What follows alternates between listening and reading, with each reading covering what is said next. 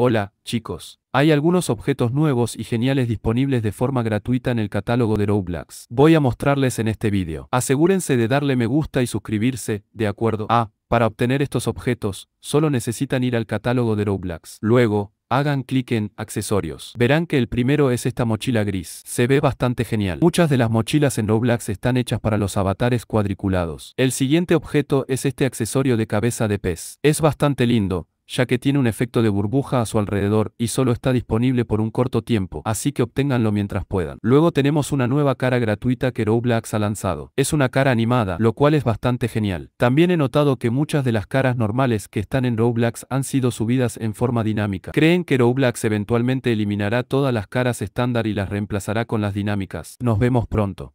Adiós.